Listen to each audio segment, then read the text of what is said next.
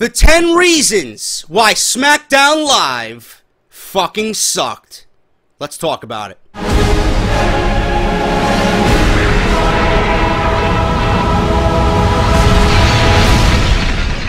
You know, the one thing I enjoy doing, the one thing I enjoy doing is taking all the negativity that was thrown in my direction, this week especially. I love taking all the negativity thrown in my direction, and I love turning it around and using that as fuel to make a video.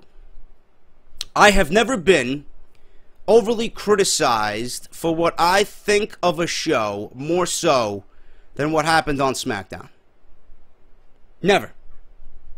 And I've been through many a shows, man. Royal Rumbles, WrestleManias, SummerSlams, you name it.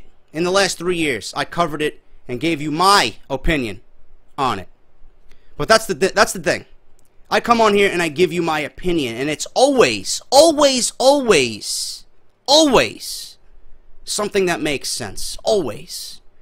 Whether you agree with me or disagree with me, I always make sense of everything that I'm talking about. The one thing that I cannot stand is stupidity. And stupidity will not be tolerated on my channel, in my comment section, on my Twitter. I will get rid of you. No matter how long of a fan you've been of this channel, no matter if you're a troll just starting out and you have a fucking picture of an egg on your Twitter. I do not care. I do not care. You will be benched. That's it. I do not stand for stupidity. I've had people come to me complaining about my Eva Marie, Eva Marie rants.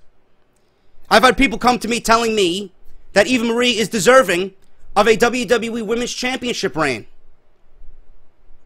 I've had people come to me and tell me Mauro Ranallo genuinely sucks as a commentator. Benched. That's stupidity. Please save us the words that you form up here and that come out through here or on here and go to someone else's channel and do that. It's not going to be tolerated here. I went on the Reddit forums and the Squared Circle forums on Reddit. And I seen things that just boggled my mind. I seen things in which people were complaining about me. JD from New York was mentioned on the Squared Circle forums following SmackDown Live. I must have hit a sensitive nerve somewhere with one goon and it trickled down into a discussion with three or four other goons on Squared Circle. It was a very small portion of their forums via SmackDown Live, but it was four people who just really confused the living shit out of me. Now, I've always been told by my colleagues on YouTube and just close personal friends, if people are talking about you in that way, you must be doing something right. And I firmly agree with that. I totally agree with that. But the thing that bothers me is not the fact that they're talking about me, because I know they're wrong. I know they're wrong.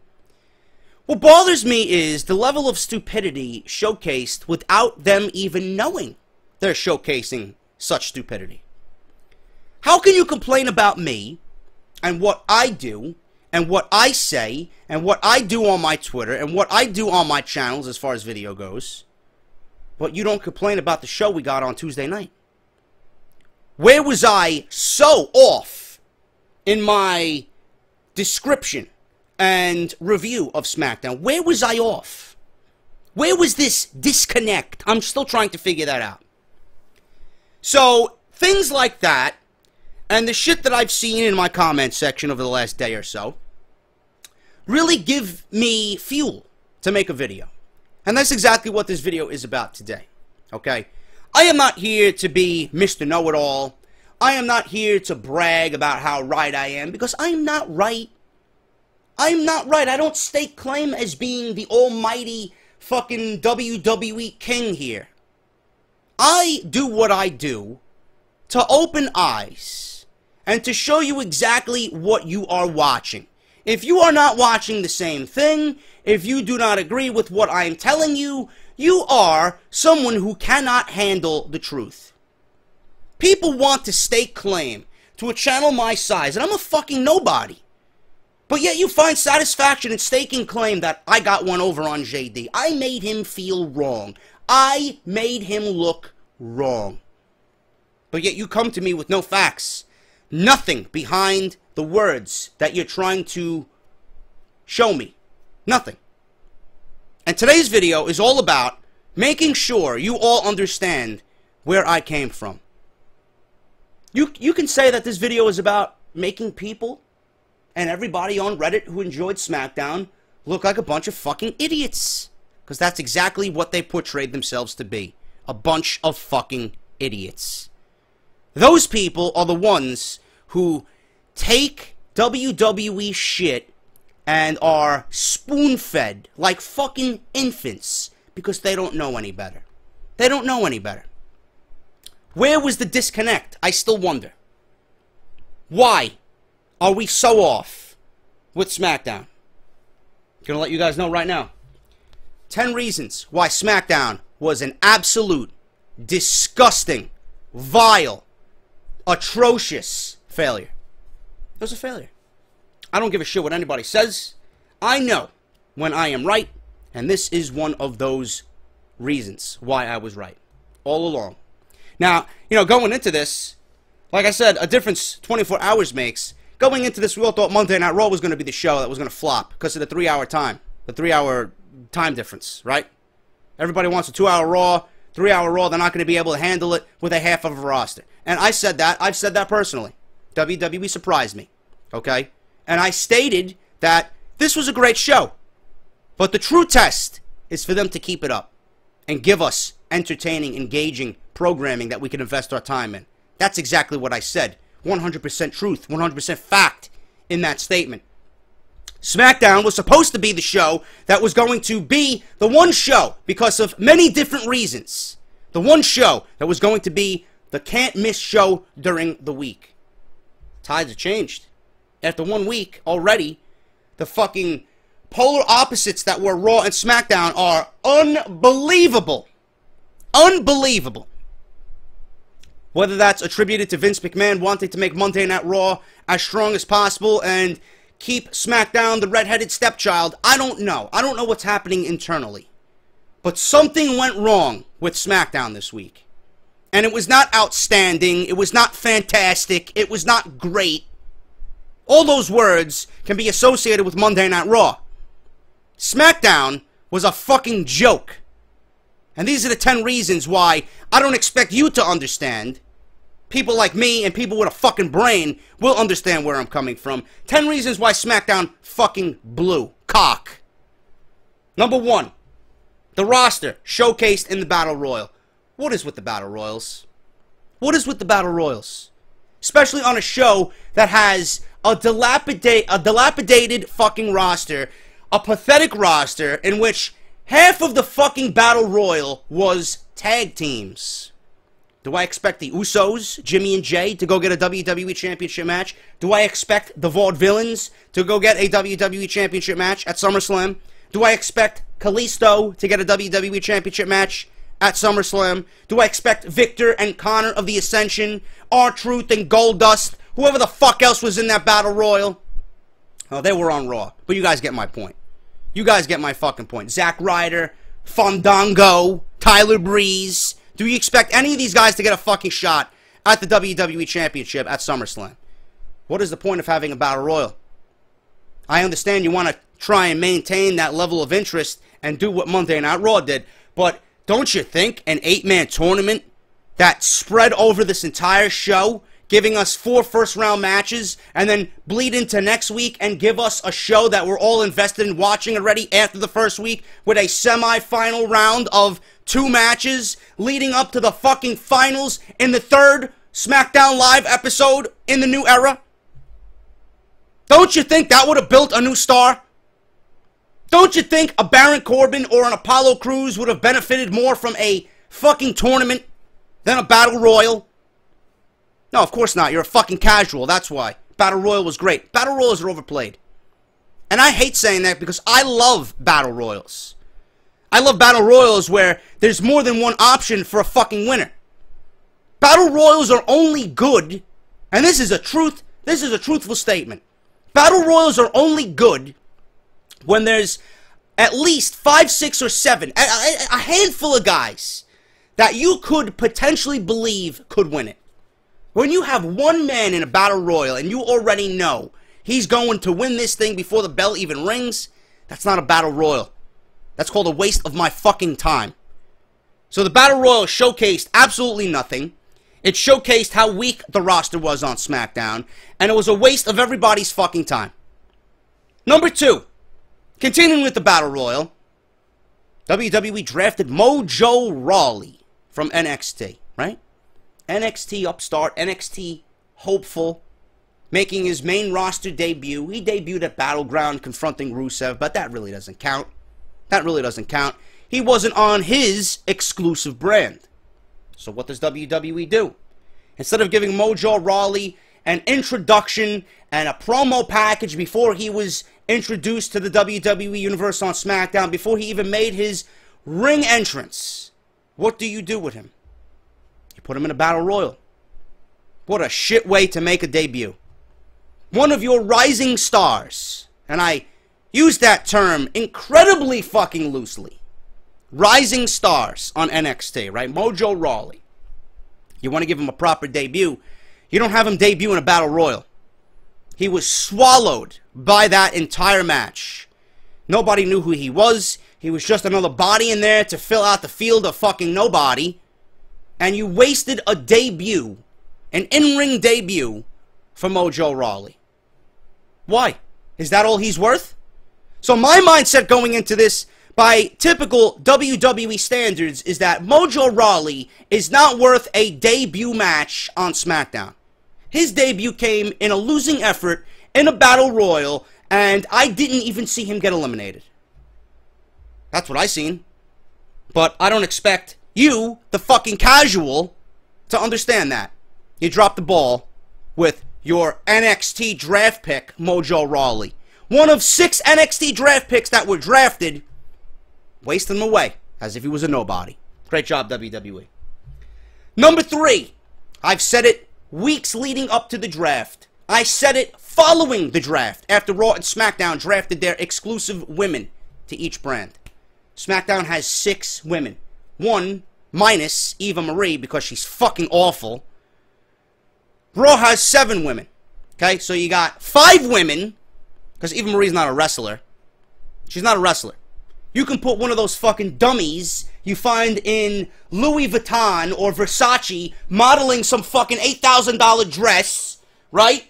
You could put them in the fucking ring and they'd be better than Eva Marie. Truth. You can't handle it. You can't handle it. You know I'm right. You just want to prove to me I'm wrong. Oh, JD, give her a chance, man. Give her a chance, man. Give who a chance? Give your sister a chance? Yeah. Sure, I'll give your sister a chance. I gave your sister a chance two Sundays ago. She passed with flying colors. How you like that one? Eva Marie sucks. I want you guys, seriously, I want you guys to go back on the WWE Network. Go back on the WWE Network and watch Eva Marie's match. The last match that she had. The last match that I hopefully ever see her in. Against Asuka. 15 minutes. I wanted to fucking gouge my eyes out. I would have rather been blind than watch that match. And they made you believe Eva Marie was getting one over on Asuka. 15 minutes. What am I watching here? Corey Graves pandering to Eva Marie, and I love Corey Graves. It was nauseating, but I still love Corey Graves. 15 minutes of making me try to believe Eva Marie can hang with Asuka. She's moving as, she, as if she's moving in quicksand, as if she's fucking chasing the mummy in the movie with Brendan Fraser, and she tripped and fell into a fucking pit of quicksand. That's how she was moving. Awful. Eva Marie and Asuka for 15 minutes. Meanwhile, we all know that Asuka can beat her in fucking 45 seconds flat. Probably even less time than that. She's awful. Five women on SmackDown. Where am I going with this? Five women on SmackDown. Seven women on Monday Night Raw. What does WWE do? Women's repetition already.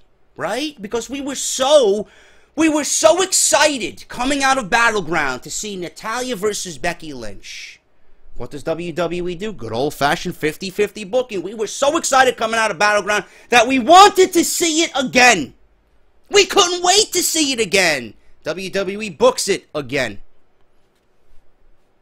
New era. Fresh matchups. New opportunity. Really? Natalya versus Becky Lynch. You could have put Natalya versus Carmella. You could have put Natalya versus Alexa Bliss. You could have put Alexa Bliss versus Becky Lynch. What happened to opportunity? What happened to showcasing the new era?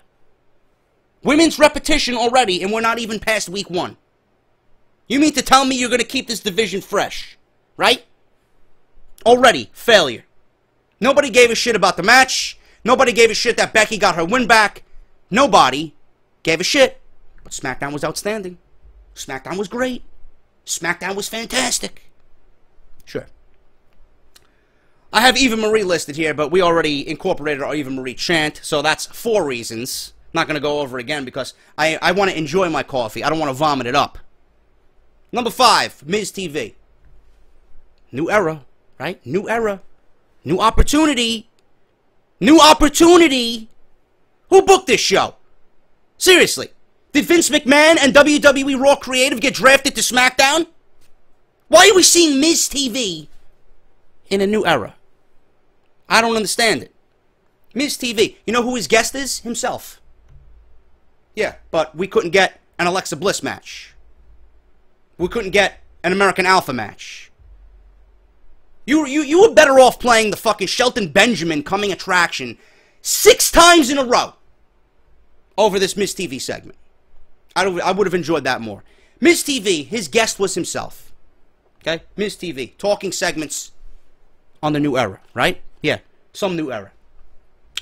Number six, Randy Orton is the guest after the fact on Miz TV. Okay? So this leads to a match.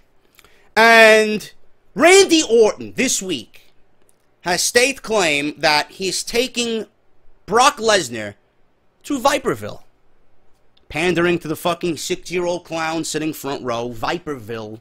Such a cheesy fucking name for someone who literally is as sadistic as the next guy when he's a fucking heel.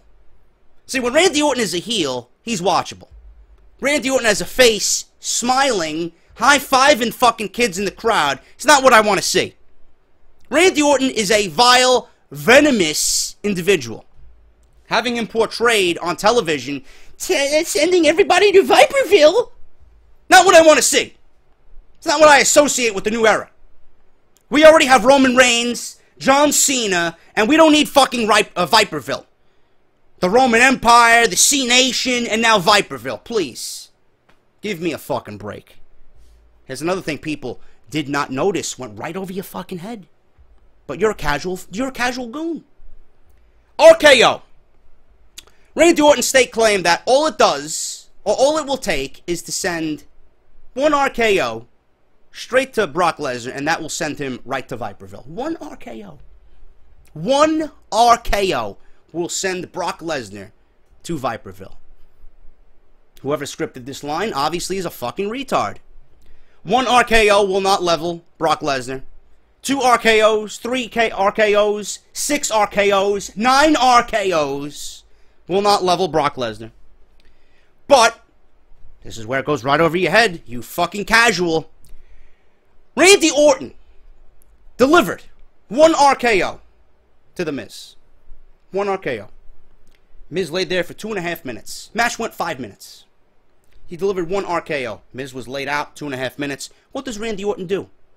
What does Randy Orton do after The Miz gets up from the first RKO? He delivered a second RKO. It took it took two RKOs to beat The Miz.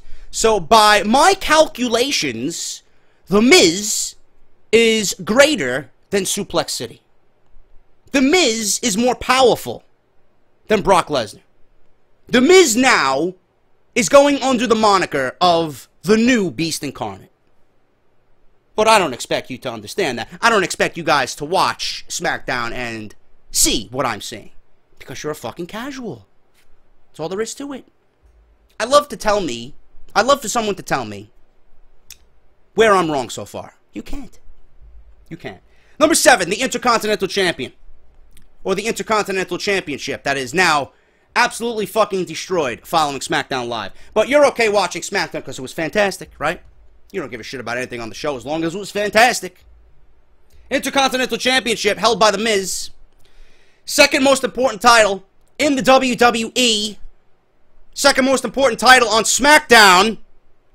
But you just fed the Intercontinental Champion to Randy Orton in five minutes. Two and a half of which he was laying on the ground from one RKO. So the Intercontinental title is still important to you people, right? The Miz is a great Intercontinental Champion, right? Why is the Intercontinental Championship in a five minute squash match? Why is your Intercontinental Champion losing in five minutes on SmackDown? Why is he eating two RKO's on SmackDown? Either you take the belt off the Miz and putting on and put it on someone that's not going to be a certified jobber, or you treat the Miz like a fucking champion. One or the other. It's not that difficult. But again, I don't expect you to know that. Number eight, no American Alpha. Well, I don't know. First impressions, you only get one. Monday Night Raw came out swinging for the fences. We didn't see Finn Balor not once, but fucking twice on the show. And you can't give me American Alpha? Yeah, I'm sure Eva Marie parading, stripping, and all the other women fucking bullshitting, and a Miz TV segment that went fucking 20 minutes is more important than debuting your best tag team in WWE. No American Alpha? What happened to you only get one first impression? What happened to putting your best foot forward? No American Alpha. You could have easily gave me American Alpha versus the Ascension. I would have been pleased. They should have got 10 to 15 minutes. Show me what type of shit you're working with in the tag team division. Nothing. You saved them for week two. But by that point, it's too late. Because this show was a fucking failure. No American Alpha. JBL. Do I even need to say anything about JBL? The worst color commentator in history. Guy's fucking terrible. Absolutely fucking terrible. And this is the kicker. This is the kicker. I'm going to go over all this shit with you guys right now because you all came down on me. You wanted to fucking nail me to the cross because I didn't want Dolph Ziggler to win. I didn't like Dolph Ziggler winning and getting a WWE Championship match. I'm going to shut you all up right now. And I'm going to change your perception of that title match at SummerSlam. Is it going to be a good match? Yeah, it's going to be a good match because Ziggler is great in the ring. That's what you don't understand. That's what you don't understand. Am I enjoying Dean Ambrose as WWE champion? Yes, I am. I think he deserves it. Hardworking guy. Glad he's getting a fucking legit run with the title. Let's go back to 2015. Only a year ago. Because all I need is one year to show you and prove to you that Ziggler does not belong in a main event at SummerSlam. Ziggler became involved in an on-screen love affair with Lana, the former manager of Rusev when she kissed him at Raw on May 25th, 2015, with Lana serving as Ziggler's valet during his matches.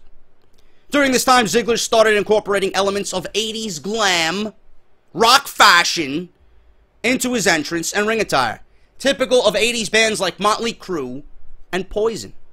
In June, after Ziggler and Lana confirmed their storyline relationship, Summer Rae aligned with Rusev to even the odds. After an attack by Rusev, Ziggler suffered a bruised trachea in storyline, which was to give him some time off to film a new WWE Studios movie entitled 642. Ziggler then returned in August on the 17th episode of Monday Night Raw, aiding Lana during a confrontation against Rusev and Summer Rae. This altercation prompted a match between Ziggler and Rusev six days later at SummerSlam, which ended in a double countout due to interference from Lana and Summer Rae in a rematch on September 20th at Night of Champions. Neither man, neither man was a champion, so why the fuck, why the fuck they're fighting at Night of Champions is beyond me. Ziggler emerged victorious on October 11th when TMZ reported the real-life engagement of Rusev and Lana. This officially ended this piece of shit feud. The following night on Raw, Ziggler unsuccessfully challenged John Cena for the WWE United States Championship. Aw, poor baby. On the October 22nd episode of SmackDown, Ziggler started a feud with Tyler Breeze, who aligned with Summer Rae and attacked Dolph Ziggler. Entered a tournament for the vacant WWE World Heavyweight Championship, Ziggler did, defeating The Miz in the first round, before being eliminated by Dean Ambrose. Ziggler and Breeze continued their feud, which culminated in a match between the two at the Survivor Series, which Ziggler lost. The next night on Raw, Ziggler teamed with Dean Ambrose to defeat the team of Tyler Breeze and Kevin Owens. On the November 30th episode of Raw, Ziggler defeated Breeze in a singles match to end this feud. Pointless. Breeze and Summer Rae split up on 2000 in 2015 in December, putting that love quadrangle to rest. On the December 18th episode of SmackDown, Ziggler defeated Kevin Owens via countout victory. Owens interrupted Ziggler at the 2015 Slammy Awards, where Dolph was presenting awards. The two ended up getting into a brawl, and a match later on was made that evening with Owens picking up the victory. The two later traded victories into the New Year. Ziggler defeated Bo Dallas on the New Year's Eve SmackDown special. Some great mid to end 2016 for Dolph Ziggler, right? But he deserves a WWE Championship match. I'm not done yet. 2016, Ziggler entered the Royal Rumble as the 28th entrant. If you're coming in at number 28, you, no doubt in my mind, should be the final two. Ziggler entered number 28, lasted seven minutes, was eliminated by Triple H. The night on Raw, the next night, Ziggler faced Kevin Owens in a losing effort, but defeated him in the following two weeks to follow. And on February 15th, Monday Night Raw, Ziggler was involved in a fatal five-way match for the Intercontinental Championship where Kevin Owens regained the title after pinning Tyler Breeze. At Fastlane, Ziggler challenged Owens to a rematch for the Intercontinental Championship, which he lost. In the following weeks, Ziggler began to reignite his feud with the Authority. And on March 14th, he confronted Triple H and Stephanie McMahon. This resulted in Ziggler being granted a match against Triple H, where if he won, he could pick a match at WrestleMania, excluding the WWE World Heavyweight Championship match. However, Ziggler lost.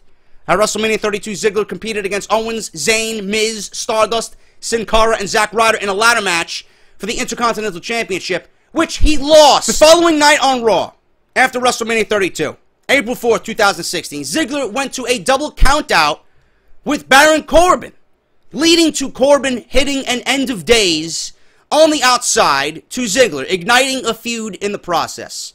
At the payback pre-show, Ziggler faced Baron Corbin in a winning effort. The two then had a no disqualification match at Extreme Rules where Corbin won after hitting a low blow on Ziggler. Following Extreme Rules on May 23rd, Monday Night Raw, Ziggler lost to Dean Ambrose in a Money in the Bank qualifying match. Earlier in that show, Ziggler had a confrontation backstage with Corbin and challenged him to a technical wrestling match the next week. In that match, Ziggler intentionally got himself disqualified when he kicked Corbin in the groin immediately after the match began. This led to a rubber match at Money in the Bank, which Corbin won, ending their feud on July 19th. At the WWE Draft, Ziggler was drafted to SmackDown. You guys know the rest. Obviously, on SmackDown, Ziggler won a six-pack challenge against Cena, Wyatt, Corbin, Styles, and Apollo Crews to become the number one contender for the WWE World Heavyweight Championship. He is scheduled to face Dean Ambrose at, the, at SummerSlam for the WWE Championship.